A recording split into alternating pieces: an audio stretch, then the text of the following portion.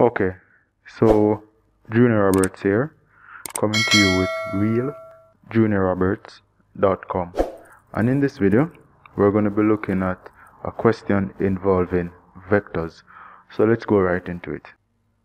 So our question here says, a heavy object of weight W is being held stationary by two ropes A and B.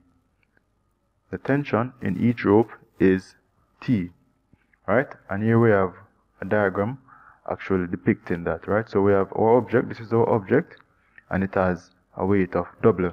and we can see here the arrow indicating that the weight is acting downward right? And at the same time we have two ropes A and B that are actually holding this object stationary right? And we are seeing that the both ropes are held at an angle of 45 degrees and there is a tension along the length of each rope and the tension is T as we see in the question here and we also see displayed on the diagram. So the first thing that this question wants us to do is to draw a vector diagram showing all three forces. Right, so if we look at the diagram again, we have the weight acting downward, right, and weight is a vector quantity because as you can remember, vector quantities are those physical quantities that have both magnitude and direction. So our weight is acting downward with a magnitude and it is acting in a direction of downward, right?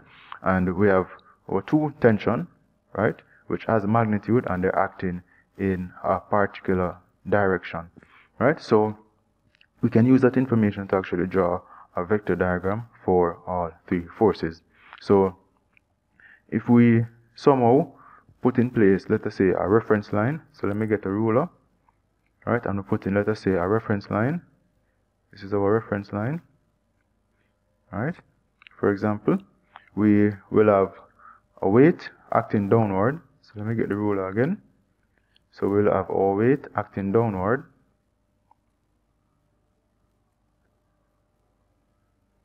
So we'll have our weight acting downward like this right so our weight acting downward so this is our weight and we're going to label it W as the weight acting downward and also we're going to have our two forces which is which are the tension in the string that is holding up the object acting upward at an angle of 45 degrees. Right so this is let me use a color like maybe this. So this is right?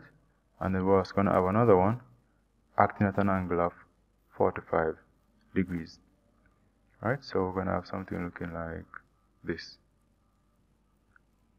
right?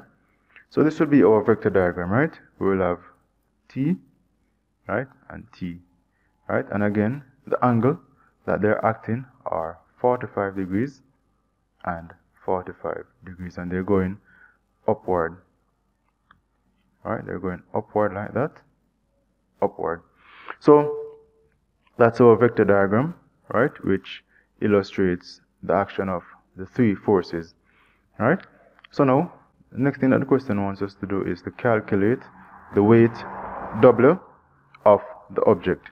Now as we can see from our vector diagrams right we have three vectors that are acting right? So we can actually apply a method of vector addition to actually solve uh, for these two vectors.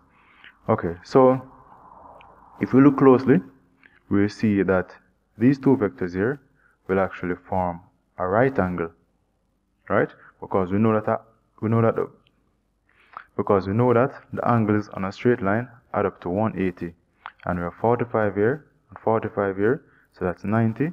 So therefore, the angle here would be 90 degrees right? So the angle here would be 90 degrees. So what we can do is we can actually find a resultant for these two vectors right? So we can find a resultant for these two vectors. So let's go ahead and actually do that.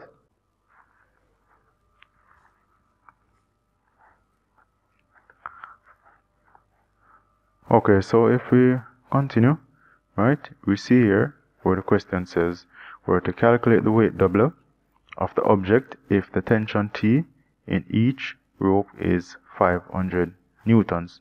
So again, we notice that the two vectors, right, they actually form a, a right angle, right?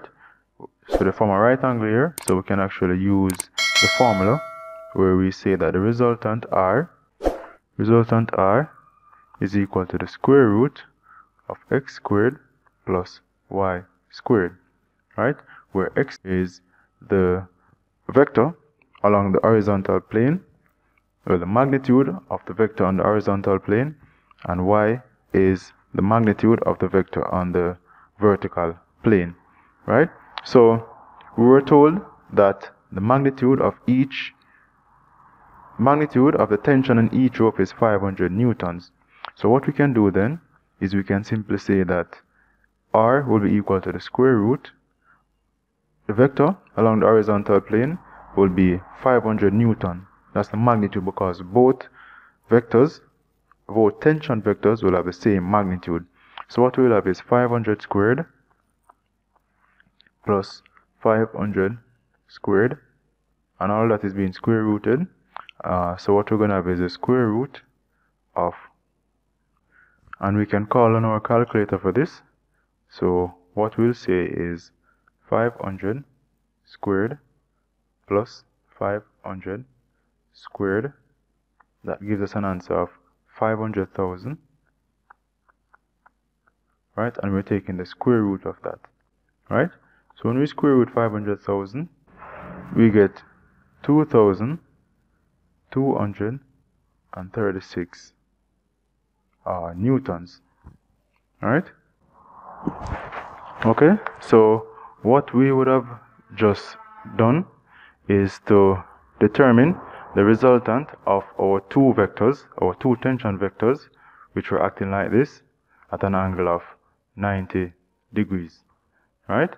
So we just found the magnitude. Now let us determine the direction in which uh, this resultant vector will be acting. So since again the vectors are at 90 degrees we can use the formula that the direction we can call it theta is equal to tan inverse right of y divided by x right?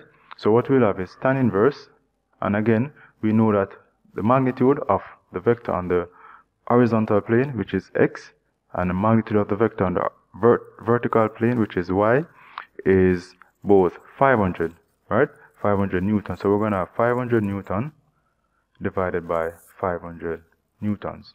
Right? So what we get is tan inverse, tan inverse of 1. Right? Because when we divide 500 by 500, we're going to get 1. So we can simply take our calculator and take the inverse tan. So we'll go shift tan, shift tan of 1, right? And we get 45 degrees. So therefore what this means is that our resultant vector will act like this right? So what we can do therefore then is to actually look back at our diagram. So we have our two vectors and the resultant will be acting like this. So what we're gonna get is we're gonna get two vectors in the opposite direction. So we're gonna get our resultant vector right? We can call that tr which is our resultant tension vector and we will have our weight acting this way right now the magnitude of the tension vector we know was 2236 newtons. Now the question wants us to determine the weight of the object, right? Now let's look back at the question. So it says here that an object of weight W is being held stationary, right? So by stationary, what we mean is that the object is not moving. So if an object is stationary, right, then the sum of the net forces on that object is equal to zero, right? So if our system is stationary, it means then that the sum of the net forces will be equal.